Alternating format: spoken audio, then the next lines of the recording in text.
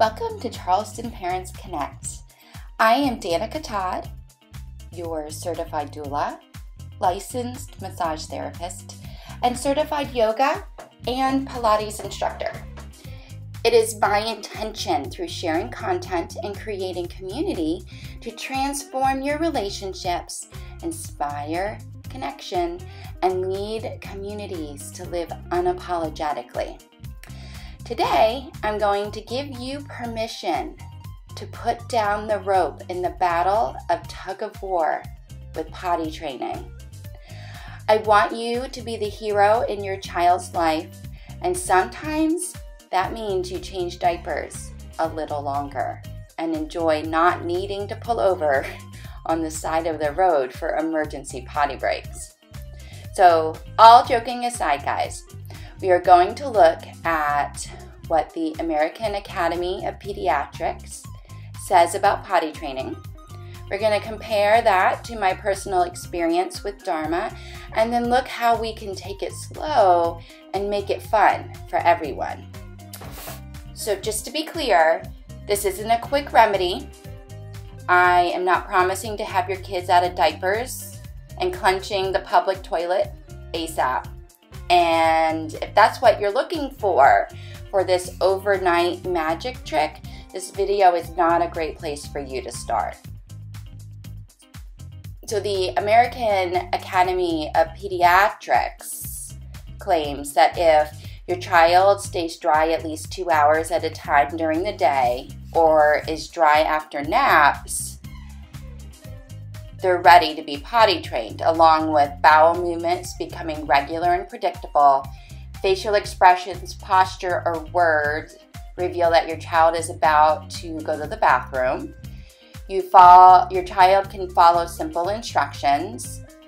Uh, they can walk to and from the bathroom and help undress. They seem uncomfortable with dirty diapers and want to be changed. They ask to use the potty or they ask to wear grown up underwear. So let's look into that. Are they really ready for potty training? Here is my issue with their assessment. Most children are curious at this point, but they aren't disciplined or really ready to be potty trained. So, a lot of times, what I notice, myself included with Dharma, is we start to see these signs and we interpret them as being ready for potty training. And they're really just curious about what's going on and they're not fully ready to commit to that transition. So, we all have that one friend, right? The one whose child figures it out at like 18 months old never has an accident in their life, but they aren't the norm. See, they are the outliers. And we're all comparing ourselves to that one anomaly, and that's not fair. So you're left standing there frustrated and wondering what's wrong with your child. What are you doing wrong? The truth really boils down to them not being ready, even if you are.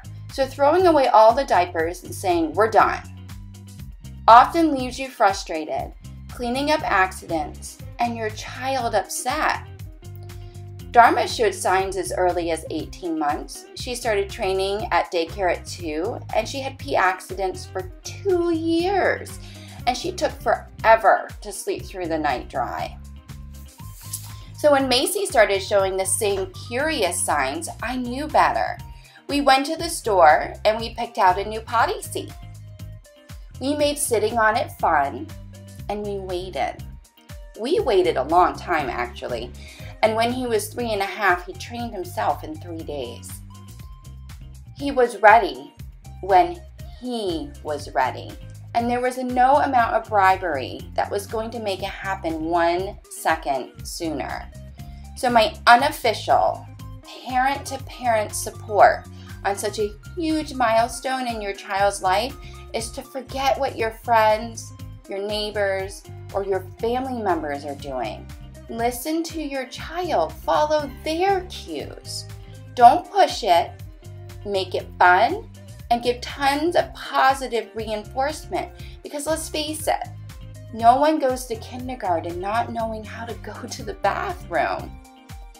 That is, unless they have a good reason, and those parents aren't the ones watching these videos. I personally didn't even make sitting on the potty a fun game until Macy consistently woke up dry in the morning, which means no pull ups either. So, how do you feel about hearing that this week? Did you find value in what you learned? Or were you left feeling frustrated that there isn't a, an easy 24 hour process? I know it was way less stressful for me the second time around when I just realized that I needed to relax about the whole thing. If you found that today's video was actually valuable and you would like to stay connected to more resources like this, I would like to invite you to subscribe to my free resource by joining my email list and then connect to the Facebook group at Charleston Parents Connect and start connecting with other parents just like you. I look forward to seeing you again on Monday for our weekly recipe post. Have a great weekend, and I'll see you soon. Bye bye.